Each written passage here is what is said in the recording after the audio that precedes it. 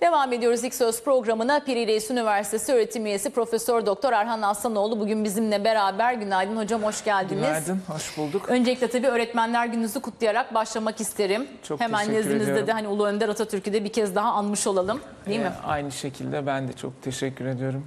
Saygıyla, minnetle anıyoruz ee, Ulu Önderimizi Atatürk'ü. Ee, tüm meslektaşlarıma, tüm öğretmenlere de ben de kutlu, mutlu olmasını diliyorum bu Öğretmenler Günü. Tabii kolay değil hocam. Ee, siz de ekonomi öğretiyorsunuz bu şartlar altında. Her gün teorilerin yeniden yazıldığı, işte krizden bu yana tabii e, pek çok kitapların tabiri caizse kadük olduğu bir süreçte e, Evet. bu işi e, öğretmek de kolay olmasa gerek. E, bu anlamda size e, de ben bir kez e, teşekkür de Çok- etmiş olmak çok isterim. ederim. Çok E, hakikaten bir yandan finansal okur yazarlık artsın diyoruz. E, diğer taraftan da her şey çok çok hızla e, gelişiyor. E, özellikle mesela Merkez Bankası politikalarına baktığımız zaman işte maliye politikalarına baktığımız zaman krizde e, belki daha önce hiç görmediğimiz hamleler gördük. İçeride bizim Merkez Bankamız zaman zaman eğer bir kişi değil de kurum aday gösterilebilseydi Nobel alır mıydı diye tartışmalara da biliyorsunuz maruz kalmıştı.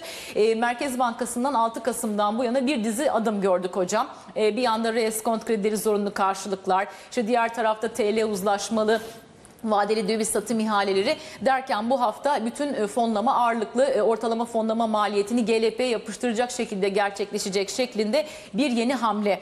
E, Nasıl yorumluyorsunuz hocam tüm bu e, atılan kurşunları Evet. diyelim para politikasına? E, Gökhan Şen de bugün yazısında yazmış hani merkez her şeyinde merkezinde değil diye doğru söylüyor. E, Ama mesela ayın 14'ünden nasıl bir beklentiye sevk etti sizi bu haftaki gelişmeler hocam? Evet.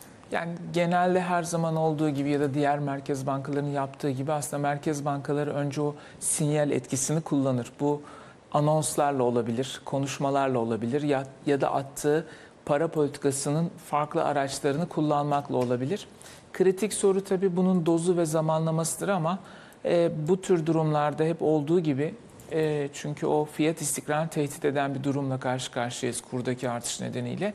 Merkez Bankası elindeki araçları hızla diyelim kullanmaya başladı. E, tabii bu e, gittikçe e, daha başka araçları veya hani nihayetinde kullanması beklenen o faizle ilgili daha sert bir adım ihtimalinde arttıran bir durum. Dolayısıyla e, şu anda geldiği geç likitte penceresindeki 12-25 hani bundan sonraki adım zaten faiz arttırımı olabilir. Çünkü o limitine e, gelmiş durumda. Hani ne yapabilir? Likiditeyi kısabilir ama e, sıkılaştırma anlamında en güçlü adım bundan sonra faizle ilgili kararı olabilir.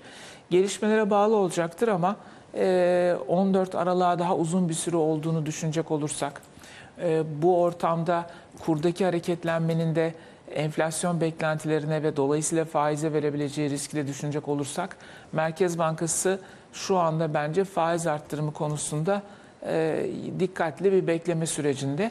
Öncesinde de olabilir, o tarihte de olabilir ama bugünkü tablo bize bir miktar arttırım yönünde işaret veriyor diye düşünüyorum.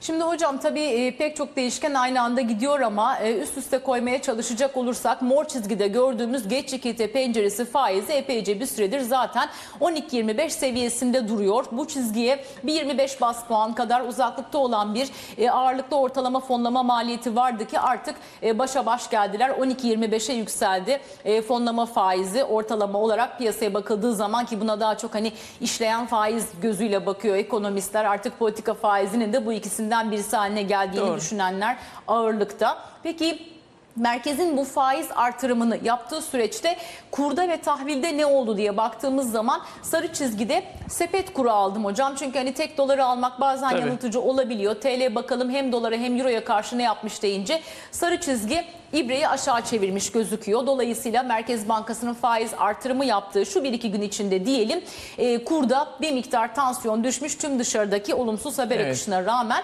aynı biçimde yeşil çizgide de yine 10 yıllık kağıdın bileşik getirisi var. Onun da rekordan döndüğünü görüyoruz. Demek ki e, merkezin bu faiz artırımı her ne kadar piyasa ilk anda yetersiz gibi yorumlasa da e, hem sarı hem yeşil çizgide bir ufak aşağı yönlü hareketle faiz ve kuru e, baskılamayı başarmış gibi görünüyor. Evet yani e, tabii belki bir bütün olarak da bakmak lazım. Evet. Hani bu bir sinyal etkisi. Sonradan gelen açıklamalarda hani Merkez Bankası'nın bu adımı atma ihtimalinin yüksek olduğuna dair algıyı güçlendirdi. Dolayısıyla bir beklenti de geliyor tabii. E, bundan sonraki gelişmeler aslında kura olan baskı ekonomi dışı faktörlerden de ciddi biçimde kaynaklandığını biliyoruz. O gündemde iyileşme olursa zaten Merkez Bankası'na çok gerek kalmadan da kurda bir gerileme olabilir ya da Merkez Bankası'nın atacağı adımı çok daha düşük bir doza getirebilir.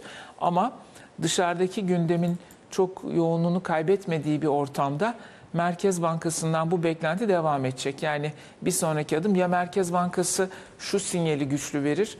e, yani 14 Aralık'ta e, gerektiği neyse onu yaparım, yapabilirim gibi bir sinyal verebilir. Ya da dediğimiz gibi gündem zaten o açıklamayı gereksiz kılabilir. Bu gelişmeyi piyasa takip edecek. de bunun anlamı biraz volatilite olacak. Dışarıdan gelen gündem ve haber akışı şu andan itibaren daha etkili olur gibi gözüküyor. Ama piyasa merkezin e, bu noktada gerekirse para politikası araçlarını kullanabileceği konusundaki beklentisini yükseltmiş durumda. İnancını da arttırmış durumda görünüyor. Şimdi hocam tüm bunların üzerine dün bir iki önemli haber daha geldi ve bunlar da tabii merkezin kontrolünde olmayan haberlerdi onu da söyleyelim ama e, bir miktar tabii dolar TL kuru üstünde etkisini gördük ama daha çok banka hisseleri üzerinde baskısını takip ettik. Bunların da hepsi esasında tamamen e, şan şöhretle alakalı diyelim. Şöyle ki işte reputasyonu nasıl Türkçe'ye çevirirseniz yani isminizin lekelenmesi veya lekelenmemesi arasındaki fark diyebiliriz belki. Bir haber Fitch'ten geldi. Diyorlar ki Amerika'daki bu davadan olumsuz sonuçlar çıkarsa e, bir e, Türk bankalarının reputasyonu diyeceğim yine hani bilinirliği Evet. e, bir şekilde e, hasar görebilirse o zaman piyasaya erişimleri azalabilir. Hani bunları hep ihtimal diye sıralıyorlar veya çok büyük bir ceza kesilirse hükümet e, telafi etmezse o zaman bu bankalar zorda kalır diyorlar. Kredi notu için negatif bir unsur olarak söylemişler. Diğer fasıl Avrupa Birliği ile ilgili bir başlık. E, 5 Aralık toplantısında AB'nin Maliye Bakanlarının acaba Türkiye AB nezdinde vergi cennetleri tırnak içinde kara listesine alınacak mı? İşte bu konuyla da ilgili yine kaynak haberleri var. Yani bu kaynak haberlerine tabii hep çekinceyle yaklaşıyoruz ama dün piyasada yine keyif kaçıran başlıklardan biri. İşte Almanya'da bir yandan koalisyon kurulamıyor. AB'nin bize tavrı ne olacak tam bir türlü netleşemiyor. E, Böyle bir ortam içerisinde Bakan Ağbal dün bir açıklama yaptı. Maliye Bakanı diyor ki böyle bir şeyin olması için uygulamalar yok bizde. Dolayısıyla söz konusu değildir. Ama sonuçta tabii böyle bir e, sevimsiz haber akışı da Evet, var. Evet. Yani hiçbirisi de merkezin yapabileceği bir şey yok. Hiçbirisi, Yok hiçbirisiyle ilgili tabii. bunlara. Yani aslında hani belki yine kurla başlamak gerekirse o kurdaki hareketin yarısı benim görebildiğim e, Merkez Bankası'nda. Yani kuru belirleyen dört faktör var. Bilanço büyüklüğü, faiz, cari açık ve riskler. Bilanço büyüklüğü ve faiz Merkez Bankası'nda dediğiniz gibi ilk dört faktörden ikisi onda. Şimdi bu tarafa gelirsek gerçekten hani bu zaten hem volatiliteyi etkileyecek bir de gerçekten hani tartışmaya spekülatif boyutu da olan haberler. Ee, ama bir taraftan da bakacak olursak hani Fitch'in açıklaması yani öyle olumsuz bir tablo durumunda evet o zaten teknik bir sonuç olarak karşımıza gelebilir. Yeni bir haber de yok ama tabii bunu duymak, bu süre, sürekli bu çağrışımı yapmak da ister istemez fiyatlara yansıyor. Yani önümüzdeki süreçte şimdi 4 Aralık'a kadar en azından bildiğimiz bir tarih var. İşte veriyorsunuz 5 Aralık. Yani önümüzdeki 1-2 haftada e, artı eksi haber akışları gelecektir. Hani burada işte belki bu kritik noktada Merkez Bankası e, bu volatiliteyi azaltacak ya da en azından eldeki o %50'lik gücü kullanarak buradaki sıkıntıyı hafifletecek bir adım atabilir. Yani şu da olabilir. Yani Merkez Bankası o adımı erkenden atar. Erkenden yukarı yönlü sıkılaştırma yönünde bir adım atıyorsa gerekirse yine o adımı gevşetme yönünde de atabilir. Yani e, vitesi doğru zamanda değiştirmek ve zorlamamak aracı gibi bir durum söz konusu. Önümüzdeki 15 günde de o bir sanattır diyoruz ya para politikası. Önemli bir icra dönemi gibi Doğru, gözüküyor. Doğru. Şimdi bu arada bu Türkiye'ye özel bir durum değil. Az önceki bu AB hikayesi onu da söyleyelim. Dünya çapında 92 yönetimdeki vergi uygulamaları Evet. nasıl bunu gözden geçiren bir komite var AB bünyesinde. Hatta e, bazı ülkelerde işte mesela 7 tane Karayip yönetiminde diyorlar ki fırtınadan etkilendiler. Onlara Şubat'a kadar zaman vereceğiz. Önce bir toparlansınlar sonra vergi uygulamalarında ne vaziyetteler göreceğiz. İşte İngiltere'ye bağlı yine Guernsey, Isle of Man, Jersey gibi e, yönetimlerin e, şu anda taahhütlerinin yeterli bulunduğunu söylemişler. 36 kadar ülkenin listeye eklenebileceği söylenmiş. Bunların arasında da yine Cook Islands'dan Panama'ya ve Tunus'a kadar pek çok isim sayılmış. Dolayısıyla bu Türkiye'ye özel bir Evet. e, durum olarak görünmüyor. Onu da netleştirmekte belki fayda var. Şimdi hocam içeriye yine döneriz ama isterseniz bir minik FED e, arası da yapalım. Çünkü Tabii. Bu hafta hem e, Janet Yellen gider ayak biraz daha rahat mı konuşuyor acaba diye çok tartıştık. Çünkü epeydir enflasyonda e, düşük tutan faktörler e, geçici ifadelerini kullanıyordu ama son dönemde yeni normal bu olabilir. İşte benden sonra Fed'in başındaki en büyük dert bu %2'yi bir türlü göremeyen çekirdek PCE olabilir gibi e, açıklamaları daha rahat yapar oldu. Yine Fed'in tutanaklarında da hocam her ne kadar artık Aralık %97 ihtimale gelse bile önümüzdeki süreçte enflasyon bir, varlık fiyatları iki, e, faiz artırımları önüne set çekebilir gibi gözüküyor. E, siz nasıl yorumluyorsunuz mesela 2018'i Fed açısından? Yani ben şöyle yorumluyorum. Enflasyonun gerçekten çok kolay gelemeyeceği bir dünyadayız. Ee, yani birçok faktör e, bu enflasyonu önünde engel teşkil ediyor. Dünyada hala bir çıktı açığı sorunu var. Yani yetersiz talep var. Teknolojik gelişmeler maliyet enflasyonunu aşağıya çekiyor. E-ticaret, elektronik ticaret aracıları ortadan kaldırarak ya da bu hızla gelişen daha da artacak işte bu Bitcoin'in blockchain e, e, teknolojisi aracıları ortadan kaldırarak gittikçe maliyetleri düşüren bir dünyaya götürüyor. Ee, yani böyle o savaşlar vesaire Allah korusun bu tür olumsuz gelişmeler olmadıkça e, enflasyonun e, yüksek enflasyonun gelmesi kolay değil. Ama bir merkez bankasının faiz arttırımında enflasyon önemlidir. Ekonomideki ısınmayı önceden kontrol etmek ister. Ama bunun dışında da varlık balonu yaratmamak gibi ve e, olası iş çevrimleri dediğimiz örneğin Amerikan ekonomisinin e, 8-10 yılda bir yaşadığı yavaşlamanın geldiği dönem ki o yaklaşıyor gibi gözüküyor birkaç sene içerisinde elinde kullanacağı bir araç olması açısından da önemli. Yani bence 3 tane faktör var Merkez Bankası'nın faiz kararını. Biri enflasyon, diğeri varlık balonu, üçüncüsü de ekonominin daralmasında faizi düşürecek alan yaratması.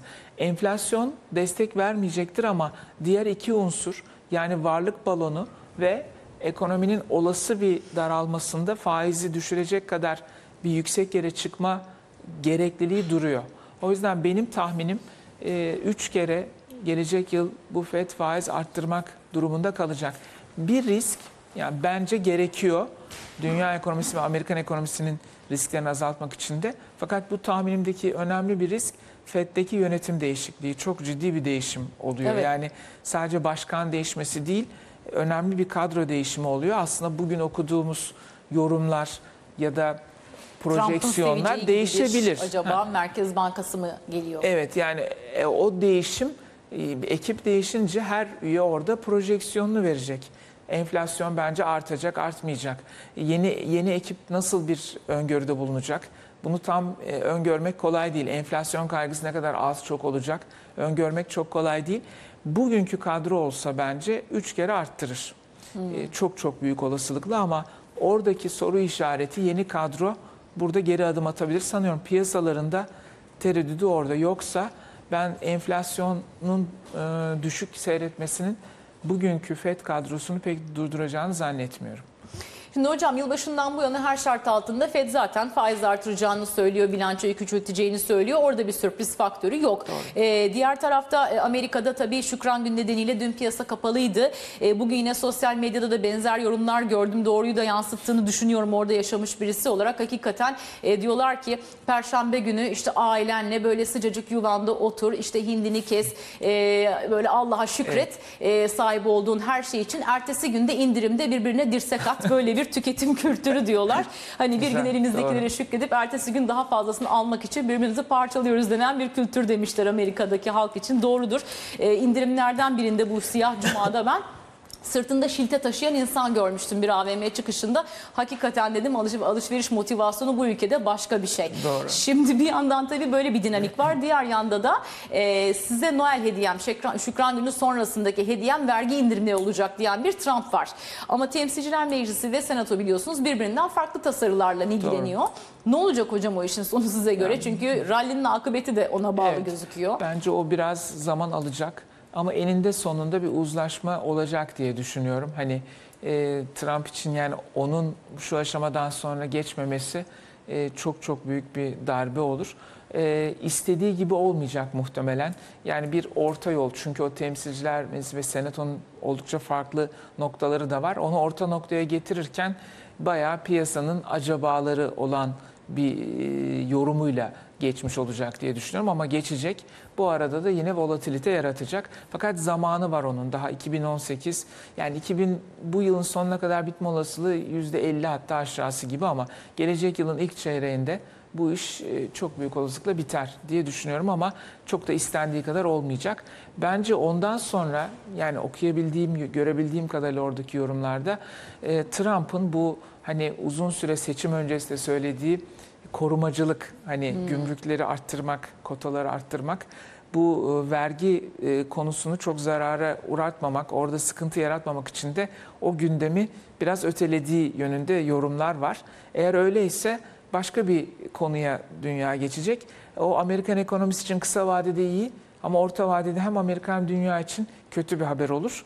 Öyle bir gündeme gidebiliriz. Aslında yani o vergiden sonraki o haber yani görebildiğim kadarıyla gerçek olur mu olmaz mı emin değilim ama çok iddialı olduğu bir alandı.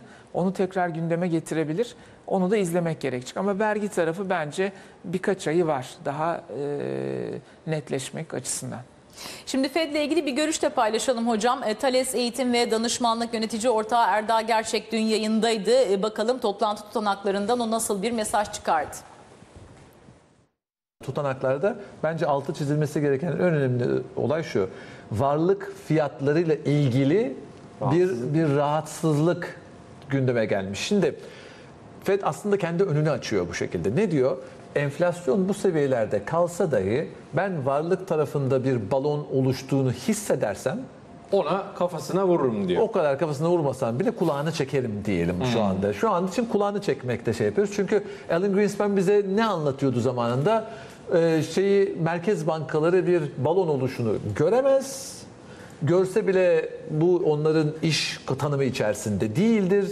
Zaten balonlar sonra patladıktan sonra bizi etrafı toparla parti sonrası kağıtları şeyleri toplama, Ortalığı toparla. e, toparlamakla yükümlüdür diyordu. Şimdi bu reaktif yani reaksiyon gösteren bir Merkez Bankası profili. Acaba ileriye dönük proaktif yani ileriye dönük hareketli bir Merkez Bankası mı göreceğiz? Onun için bence bu söylemle önlerini açtılar. Bir sonraki basın toplantısında Aralık'taki faiz artırımından sonra bunu çok dikkatli izlemek lazım. Eğer bu gelirse diyeceğiz ki bundan sonra varlık fiyatları da Fed'in iş tanımı içerisine giriyor. Faiz, para politikası tanımı içerisine giriyor. Şimdi varlık fiyatları tarafı bu işin böyle. Erdağ gerçekte tutanakları yorumlamış. Şimdi bir yandan tabii Amerikan Merkez Bankası'nın tüm bunları yaparken aynen Avrupa Merkez Bankası'nda zaman zaman hatalarla da olsa İngiltere Merkez Bankası'nda da gördüğümüz gibi iletişim politikasını artık bir araç haline getirdiğini biliyoruz. Evet. Ee, içeride bizim Merkez Bankası e, bazen doğru hamleler yapsa bile işlerin doğru anlaşılamaması sebebiyle e, iletişim politikası keşke daha iyi kullanılsaydı piyasaya daha çok etkisini görürdük. Yorumlarını da görüyoruz Doğru. hocam ekonomistlerden. Şimdi epeydir şöyle bir şey olmuyordu. Mesela bir Merkez Bankası toplantısında biz sizinle geri sayarken açıyorduk terminali bakıyorduk. Bütün faizlerde bütün ekonomistler koro halinde aynı şeyi bekliyor oluyorlardı. Bir kişi bile hiçbir şey değişiklik beklemiyorum diyordu. E, bu sefer öyle olmadı. Şimdi Merkez Bankası'nın 6 Kasım'dan beri yaptıklarını biliyor piyasa. E, bu hafta işte bütün fonlama GLP'den deyince bu sefer bazı yorumcular dedi ki işte 14 Aralık'ta faiz artırımı. Bazıları dedi ki hayır artıramaz o yüzden kurda ilk anda tepki görmedik. Bazısı diyor ki e, ara toplantı e, yapılır, acil toplantı yapılır. E, fakat genellikle e, biz Cumhurbaşkanlığı baş danışmanlarından aynı gün içerisinde hepsinin birden e, böyle topyekün bir şekilde e, Merkez Bankası bağımsızdır gerekirse faiz artırır dediğini herhalde görmemiştik. E, dün hem Cemil Ertem'den hem de Hatice Karahan'dan benzer açıklamalar var. E, merkezin 14 Aralık'ı beklemesine gerek yok. Araç bağımsızlığı sonsuz. Sorumsuz, e, gereken tedbiri alacaktır, gerekirse sıkılaşacaktır gibi e, açıklamalar var. İşte GLP yarın bile yukarı gidebilir gibi açıklamalar var. E, bu kadar kafa karışıklığı niye oldu hocam bu açıklamadan sonra? Bir de mesela Timeş diyor ki GLP 2 puan falan yukarı gitmeli. E, öyle bir şey siz bekler misiniz? Olursa e, çare olur mu probleme? Yani şöyle, yani biraz önce de dediğim gibi aslında e, problemin yüzde 50'si bu tarafta. Dolayısıyla yüzde yüz bir çare olmaz diye düşünüyorum. Ama e, o yüzde 50 de çok önemli. Çünkü zaten e, belli bir sıkıntı yarattığı için kurdaki artış o anlamda Merkez Bankası'nın atacağı adım e, önemli bir çare olur. Ama tam çare olmayacaktır. E, Yüzde 10 yani 2 puan artması GLP'nin yani o, o, o çıkarımı şuradan yapabiliyoruz. Doğru. E, bono tahvil faizleri, gösterge tahvil faizlerinin olduğu seviye proaktif olacaksa onun biraz üzerinde olması. Hani e, orayı hareket noktası alırsak aslında belki 2 ve üzerinde bile olması gerekebilir. Yani bu şu demek değil. Yani bunu arttırdı hep orada kalacak demek değil. Türkiye'de siyasi ve jeopolitik Sonuçta o bir esneklik, bir Evet, koridor sağlayacaktır koridor sağlayacak. Yani onu hocam? o üst tarafı yani biraz o koridor uygulamasına ihtiyaç var. Gerekirse oraya giderim Yani şu diyebilmek. morla beyaz şimdi yapıştı ya. Evet. Mor o- yukarı giderse Evet. istiyorsa beyaz da biraz daha Aynen hareket öyle. edebilir Tabii. diye grafiğin Tam üstünden koridor- açıklamaya çalışalım. Tabii koridoru uygulama zamanı. Yani o hani gecelik, haftalık ona dönebilir. Yani bu hani GLP'yi kaldırabilir ya da hani GLP'yi yukarıya çeker. Artık hani sonuçta e, Türk mali piyasaların alıştığı bir e, durum söz konusu. Yorumda da çok zorlanmadığımız bir e, durumla karşı karşıyayız. Yani o e, hafta gecelik ve GLP'yi değiştirerek 14-15 bir yere çıkararak kullanması da gerekmiyor. Ama çok ciddi bir bu anlamda esneklik ve pozitif bir ivme sağlayabilir. Dediğim gibi Türkiye'de tahvil bono faizleri birkaç hafta içinde siyasi ve jeopolitik gelişmelere bağlı olarak 1-1,5 puan gerileyebilir. Ya o zaman da işte 1,5 puan gerileyince örneğin tahvil faizi göstergede 14.20'den 12.80'e inse o zaman Merkez Bankası'nın 13'e çekmesi de yeterli olacaktır faizi. O yüzden şu anda hani o 15'tir hep kalacaktır anlamında değil ama bugün proaktif ben daha öndeyim. Yani ben belirlerim, öncüyüm diyebilmesi açısından biraz güçlü bir sinyal vermesi önemli görünüyor. Şeyde pozitif karşılıyorum. Ee, Sayın Cumhurbaşkanı danışmanlarının açıklamaları önemli referanslar. Hani bu bu mesajın verilmesi de önemli. Ee, Merkez Bankası'nın e, bağımsız olarak gerekirse her adımı atabileceği vurgusu önemli bence. Ee, bu, bu noktadan sonra piyasada izlemede olacaktır. Ee, o %50 kısımda Merkez Bankası her an gerçekten bence de 14 Aralık'a kadar kullanabilir diye düşünüyorum. Ben de arada bir toplantı ihtimali ve bunu kullanma ihtimali çok düşük değil kanaatindeyim. Şimdi hafta içinde fonlama GLP'den yapılacak diye açıklama gelince e, ve ortaya da 12-25'lik faiz çıkınca e, Blue Bay Asset Management'tan Timerş demişti ki bu adım e, çok küçük, çok geç e, ve şaka olmalı gibi bir yorumda bulunmuştu. Dün bir tweet atmış diyor ki e, Ertem Karahan ve ha, hatta Zeybekçi'den gördüğümüz sözlü yönlendirmeler koordineli gözüküyor. Demek ki ekonomide bir aşırı ısınma riski e, insanların e, artık gözüne çarpmış vaziyette. Merkez Bankası artık üzerine düşeni yaparak anlamlı bir faiz artışında bulunmalı diyor. Ekonomide aşırı ısınma. Görüyor musunuz hocam? Çünkü evet 3. çeyrekten çift tane büyüme beklentisi olan ekonomistler var. Ama dördüncü çeyrekten sizinle de geçen yayınlarda konuştuk. Öyle bir beklenti yok. Hani bu yılı Evet. kapatacağımız seviyeler %5,5-6'lar bazı ekonomistlere göre daha üstünde kalırken bu aşırı ısınma sinyali midir? Yok ben öyle olduğunu zannetmiyorum. Yani o e, konjonktürel olarak yaşadığımız evet 3. çeyrekte de e, talep baskısının enflasyonu etkilemeye başladığı bir döneme girdik ama şu andaki seyir e, işte e, birçok öncü göstergede de görüyoruz. Tüketici güven endeksleri, e, kredi büyüme hızı bu anlamda bir gerilemeye işaret ediyor. E, biraz o rakamlar gecikmeli yansıyacaktır. İşte dün de konut satış rakamları da Evet. geldi. O da zaten Düşüş var. mesela tüketici güven endekslerindeki sorulardan bir tanesidir içinde bulunduğumuz Evet, dönem. Hani doğru. orada gerileme vardı. Rakamda da gördük. Zaten vergi indirimlerinin kalkmasının falan da etkisi var ama sonuçta e, çok hani öyle ısınma değil. Bir miktar ısındıysa bile 3. ayda şu anda tekrar soğuma emareleri var diye düşünüyorum. O anlamda Ee, sektörel bazda olabilir. Ona katılırım. Hani bazı sektörlerde talep baskı ama ekonominin olmuştur genelinde ısınma yok. Oradaki bence ısınma e, tabiri şey de olabilir. Yani bu finansal piyasalardaki Hmm. hararetin artması anlamında da yani e, belki kullanılmıştır. O anlamda evet orası hararetli kurlar, faizler onu gösteriyor. Şimdi konut demişken e, hocam e, izleyicimiz e, Sarp Bey'den sabah bir e, tweet gördüm. E, Yabancıya ne kadar çok ev sattık diye övünmemize gerek yok. Adamlar 6 ayda orada kazandıkları parayla zaten burada ev alabiliyorlar. Euro olmuş 5 lira. E, 30 bin euro kendi ülkesinde kazansa ev döşeyemeyen adam Türkiye'de yazlık alabiliyor. Biz 30 bin lirayla Norveç'e gitsek esamemiz okunur mu demiş. E, kurun geldiği yer hani konut fiyatları açısından beklentileri de bir miktar böyle etkileyebiliyor. Evet yabancıların e, Türkiye'de konut aldıklarını gördük. En çok da Arap sermayesi burada yabancılar listesinde ön plana çıkmış gözüküyor. İzleyicimiz e, Kayseri e, Ticaret Odası Meclis Üyesi İbrahim Gültekin sağ olsun yine bir tweet paylaşmış. E, başta baş öğretmenimiz Gazi Mustafa Kemal Atatürk olmak üzere bütün öğretmenlerimize şükranlarımı sunuyor. Erhan hocamın şahsında da bütün öğretmenlerimizin Öğretmenler Günü'nü kutluyorum. Kayseri'den teşekkürler. sevgi ve selamlar Çok sağ demiş. olsun. Teşekkür Geçen ediyoruz. da aynı Şimdi izleyicimiz Yasin Bey diyor ki Dolar TL tamamen dolar endeksine bağlı düşüşe geçti. Naçizane tavsiyem kimse gaza gelmesin. Ayrıca dolar 3.92-3.98 aralığında kalırsa merkezin faiz artırmayacağını düşünüyorum. Yıl sonunda benim hedefim 4.13 demiş. Katılıyor musunuz hocam? Yıl sonu bu yıl sonu için. İşte yıl söylüyorum. sonu diyor hem dolarla da Ama bir TL'deki taraftan dolar Merkez endeksine Bankası bağlıyor hani falan. burada kalırsa arttırmaz ama 4.13'ü bekliyorsa o zaman arttıracağını bekliyor olması lazım falan. Yani hepimizin kafasını karıştıran tabii bir, durumla karşı karşıyayız ama e, şimdi orada hiçbir şey tek nedenden kaynaklanmıyor. Yani TL'deki hareketi sadece dolar endeksine bağlamak da çok doğru olmaz.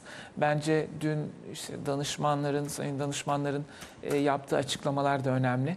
E, Merkez Bankası'nın attığı adımlar da önemli e, küresel gelişmeler, Amerika'nın Şükran Günü'nde olması, yani birçok şeyin bir araya geldiği bir durumla karşı karşıyayız.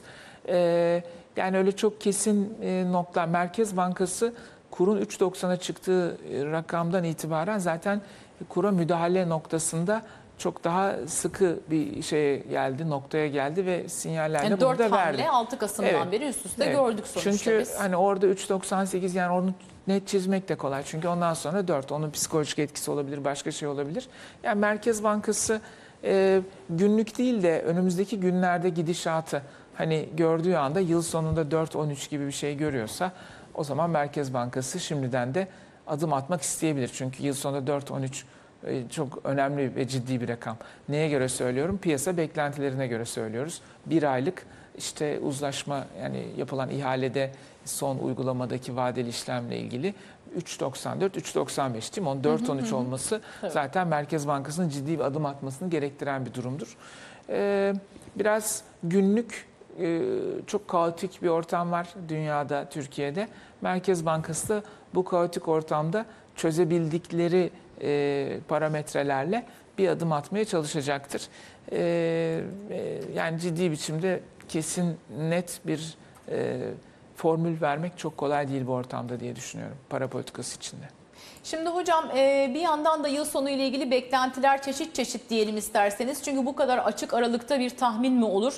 E, detaylara baktığımız zaman yıl sonunu dolar TL nerede kapatır deyince %73.6 olasılıkla çan eğrisinin orta tarafı 3.77.04'te 4.17.62 arasına işaret ediyor. Dolayısıyla burada hani 40 kuruşluk değil mi kabaca bir Evet, o- bant aralığı var biraz geniş olmuş. Evet o zaten başka bir şey o bekliyor. zaten belirsizliğin hani e, ve volatilitenin nedeni yani o aralık açıldıkça oynama alanını arttırıyor. Belirsizlik algısını arttırıyor. Kafaların karışıklığını bize gösteriyor. E, o sapması ne kadar bu tür anketlerde yüksekse o belirsizlik e, işte risk primi, CDS hepsine yansır. O ne kadar birbirine yakınlaşırsa da zaten diğer algımızda pozitif e, yönde gelişiyor demektir. Yani belirsizlik azalıyor demektir. Şimdi bu arada e, beyaz çizgide dolar endeksi var, yeşil çizgide dolar TL hareketi var. E, korelasyonumuz belli bir süredir kopmuş gibi gözüküyor. E, son süreç içerisinde de dolar endeksinde çok minimal bir hareket varken bizdeki hareket orayı çok da takip etmiş gibi gözükmüyor. Genel trende bakıldığı zaman hani izleyicimiz merak etmiş diye söyleyelim. Genel tablo böyle ama 3 günlük hareketi mesela göz önüne koyacak olursak hani FED tutanaklarından bu yana kabaca nasıl bir hareket oldu Evet. diyor. Orada birebir giden hakikaten anlık hareketler görmek mümkün ama Evet. son sürece bakıldığı zaman e, benzer hareketler yine biraz daha ön plana çıkmış demek de belki fayda olacak izleyicimizin az önceki tweetini desteklemek açısından. E, görüş verelim. E, Azimut Portföy Genel Müdür Yardımcısı Abdullah Kunt dün yayında konuştu. Merkez Bankası ile ilgili görüşünü söyledi. Kurun nereye gelmesi için faizin nerede olması lazım bu konuda kendi hesaplarını aktardı. Biz de ekrana getirelim. 12-25'i arttırsın. Kaça arttırmasını bekliyoruz? Kaç olmasını istiyoruz? Hangi seviyede artık döviz yükselmez de bundan sonra tersine döner? 12-14'e gelince mi? 12'nin 14'e geldiğini konuşacaksak eğer kısa vadeli faizler 14 ise uzun vadeli faizler ona göre kendini ayarlayacaktır. 15 olacaktır, 16 olacaktır. Merkez Bankası bir veya iki tık yukarı giderse ona aynı şekilde ben e, getiri eğrisinin de mukabele edeceğini düşünüyorum. Ta ki beklentiler iyileşecek, olumluya dönecek. Ondan sonra belki getiri eğrisinin yani uzun vadeli tahvil faizinin yeniden aşağıya gelmeye başladığını göreceğiz kolay kolay olmaz. 6 ila 1 sene içinde olur böyle bir döngü.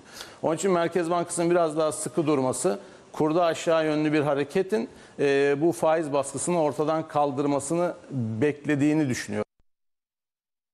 Ee, şimdi hocam e, Taylor e, merkezin başına gelseydi Amerika'da zaten kendi kurulunu uygulamayacağını söylemişti. Fazla şahin olduğunu kendi de kabul etmişti ama beyin jimnastiğidir diye hafta içinde Profesör Doktor Burak Arzova ile de konuştuk. Sizin de görüşünüzü merak ediyorum. Taylor kuralına göre gitseydi Merkez Bankası şu anda 17.59 gibi bir yerde faizi oluşurdu demişler. Yine bu hafta içinde Bloomberg'den bir haber aktardık. Eğer diyorlar Türkiye'de para politikasının başında Rusya veya Güney Afrika Merkez Bankası olsa politika faizi %16 gibi bir yerde şekillenecekti diyorlar. Yine aynı haberin içerisinde e, Türkiye'den notu 5 basamak aşağıda olan e, ülkelere kıyasla bile bizim 10 yıllık hazine tahvili faizimizin daha yüksek olduğu ile ilgili yorum paylaşılmıştı. Şimdi tahvil piyasasının fiyatlaması farklı. Merkezin ortaya koyduğu beklentiler ve güttüğü politika tabii ki farklı. Hatta sizinle de geçen hafta konuştuk işte tahvil piyasası kendi faiz arttırımını yapıyor galiba diye. Şimdi Taylor kuralının varsayımlarına baktığımız zaman gelecek sene Şubat'tan itibaren böyle 9'lara 8'lere gevşeyen bir enflasyon beklentisi girmiş işin içine. E öyle olunca da politika faizi de gelecek sene itibariyle işte 12-30'lar gibi bir yere düşüyor gibi gözüküyor. Şimdi bu grafiğe diyoruz ki biz bakıyorsak merkez de bakıyordur büyük ihtimal. E daha iyilerine de bakıyordur ayrı Tabii. bir olay ama e, böyle bir beklentiyle mi acaba merkez biraz daha piyasanın belki e, tahminlerindeki şahinlikle hareket etmiyor? Yani bu yüzden mi acaba daha temkinli, daha bekle görde giden, böyle ayağa daha e, frende Evet. giden bir politika güdüyor olabilir? Ee, yani doğru merkez bankaları hep bugün ama bugün kadar da geleceğe bakarak da e, kararlarını verir. Beklenen enflasyon yani bugünkü enflasyondan ziyade beklenen enflasyona göre e, bir karar verir. Fakat şu anda kritik nokta şu, Türkiye'de enflasyon beklentilerini etkileyen en önemli faktör yani enflasyonun en önemli nedeni kur artışı. Bunu biliyoruz. Dolayısıyla biraz da gecikmeli geliyor. Ee, şöyle bir risk var bu tür ortamlarda. Kurun çok hareketlendiği bir ortamdayız. Bu enflasyon beklentileri önümüzdeki haftalarda veya da birkaç ay içerisinde yukarı gidebilir. Merkez Bankası bir bunu anlamak durumunda. Yani acaba 8,5 mu, 9,5, 10 mu piyasanın beklentisi olacak? Yani şu andaki kur artışı piyasadaki ortalama beklentilere ne kadar yansıdı? Bir bu sorunun yanıtını vermesi gerekiyor. İki, kurda daha yukarı yönlü bir hareket olacaksa o enflasyon beklentileri daha çok artacaktır.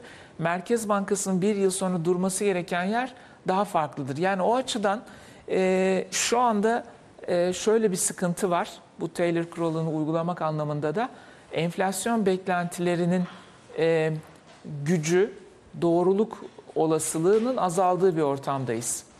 Çünkü onu etkileyen kurla ilgili gidişat henüz netleşmiş değil. O beklentiler önümüzdeki dönemde artabilir, aynı kalabilir. Düşmesi zor ama ya biraz daha güçlü artar ya hafif artar ya da aynı kalır diye düşünüyorum. İşte buradaki bu üç sorudan hangi yanıtın Merkez Bankası olacağını düşünüyorsa faizle ilgili kararını da ona göre verecektir. Bugün zaten biz dolar kurunun hani 3.60 3.70'te olduğu bir yerde olsaydık yine enflasyon 11-12'ye gelecekti. Biz onu biliyorduk. Ama gelecek yıl enflasyonun 8-9'lara düşeceğini de öngörüyorduk. O zaman Merkez Bankası için kimse bir şey yapmaz diyordu. Ben de aynı şekilde düşünüyordum ama şu anda kur 3.90 üzerinde. Bunun bir geçişkenliği olacak ve beklentiyi etkileyecek. Merkez işte en kritik nokta bu. Kur nerede sabitlenecek onu öngörmesi çok kolay olmadığı için para politikası için Taylor kuralını şu anda hani nere olmalı sorusunun yanıtını bence vermek çok zor.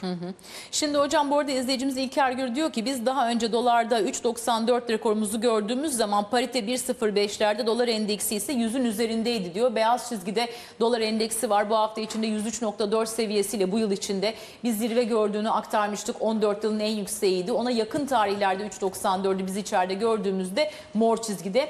Yeşil çizgiye bakınca euro dolar paritesi var. Orada da izleyicimizin söylediği 1.05'lere yakın düzeyler var. Şu anda parite diyor. Ee, 1.18 gibi bir yere geldi. Yeşil çizgiden yine izlemek e, mümkün. E, mor çizgiye bakıyoruz. Orada yine izleyici diyor ki dolar endeksi 93.5'ta onu da düzeltelim. Beyaz çizgiden görüyoruz. Dolayısıyla bizim kurumuzun geldiği yer e, çok daha farklı. Onu da yine göz önünde bulundurmak lazım demiş. E, faizle ilgili bir görüş daha var elimizde onu da paylaşalım. Yapı Kredi Yatırım Baş Stratejisti Murat Berk dün yayındaydı. E, bu noktaya biz bir günde gelmedik diyor.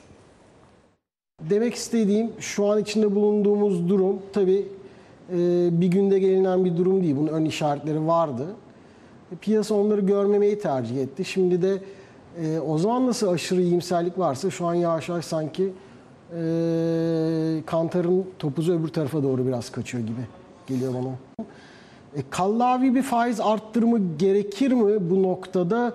E, o kadar emin değilim. Ben yani biraz fark, biraz değil bayağı farklı düşünüyorum aslında orada. Çünkü ya birinci prensip bence bir kere böyle bir duruma düşmemek olmalı. E, ilk sorunun cevabı da e, diğer adımları nasıl değerlendiriyorsun idi? Reskont kredileri vesaire. Onların hepsi aynı anda atılsaydı belki etkisi daha fazla olurdu. Bir gün bir sürpriz geldiniz üst üste 3-4 tane bir paket halinde açıklandı. Tek tek peyderpey değişik kademelerde değil de tek bir seferde açıklansaydı sanırım daha etkili olurdu. Faiz arttırımı evet kallavi bir faiz arttırımı bekleniyor. Ben aslında Merkez Bankası'nın e, yapmaması gerektiği, gerektiği demeyeyim de yapmamasının daha iyi olacağını düşünüyorum. İzleyicimiz Cem Bey diyor ki daha önce bakanlar, Bankalar Birliği Başkanı, diğer yetkililer Türk bankaları üstünde böyle bir soruşturma yok demişlerdi. Fitch niye böyle bir yorum yaptı? İşte biz de sizin gibi takip ediyoruz gelişmeleri diyelim. Çünkü bu işin e, başı kaynak haberine dayanmıştı. Dolayısıyla her kaynak haberine de bir miktar mesafeli yaklaşmaya devam ediyoruz. Bu arada emtia tarafında işler hareketli. İsterseniz son 1-2 dakikada da orayı konuşalım hocam. Petrolde artık gözler 30 Kasım'daki OPEC toplantısına çevrildi ama Amerikan tipi ham petrolü 2 yılın zirvesine geldi. E, orada tabii Kanada ile Amerika'yı bağlayan bu Keystone boru hattında sızıntı yüzünden işler Evet. durdu. Onun bir miktar etkisi var. E, altın fiyatına bakıyoruz 1292 dolar civarına geldi bu sabahki işlemlerde. Neler söylüyor size göre bugün yeşillere böylesine bürünmüş bir emtia piyasası grafiği? Yani biraz doların yani Fed'in güvercinvari e, tonda okunan o açıklamalarının etkisi var gibi gözüküyor. Genelde doların zayıflamasının burayı yukarı taşımasının bir etkisi var.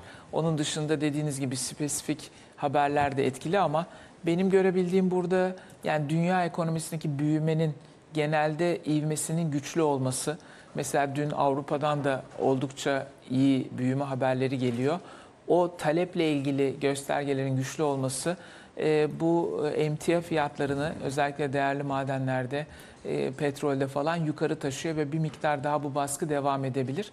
Tarımsal ürünlerde e, belki aynı e, dozda bir hareket yok. Ürün bazında farklılaşabilir ama dünya ekonomisindeki büyümenin etkisini e, görüyoruz diye düşünüyorum burada bu emtialarda. Şimdi hocam e, madem bahsettiniz tarım emtiyası tarafına da bir bakalım. Orada en parlak performansı yılbaşından bu yana %32 kazandıran pirinç ve yine e, %35 kazandıran kereste ile ilgili vadeli fiyatlar görmüş gözüküyor. E, yine meraklısı için portakal e, suyu ile ilgili kontratlarda yılbaşından bu yana fiyat değerlemesi %15.83 düşmüş. E, benim favori emtia sınıfımda ise hocam e, şeker fiyatları %21.68 yılbaşından bu yana düşüş göstermiş. Kakao fiyatları yine %0 %0.33 aşağıda. E, kahve fiyatlarında ise %9.12'lik bir aşağı yönlü hareketlilik söz konusu olmuş. Onu da Genelde- söylemeden geçmeyeyim. Evet, bir de bizim inşallah, yani genelde düşüyor değil mi? Evet, öyle Ee, gözüküyor. Bizim gıda fiyatlarına da inşallah seneye yansır. Biraz enflasyon oradan destek alırız. E, canlı hayvan fiyatında çok düşüş yok hocam. O yüzden belki hani e, et Oradan fiyatı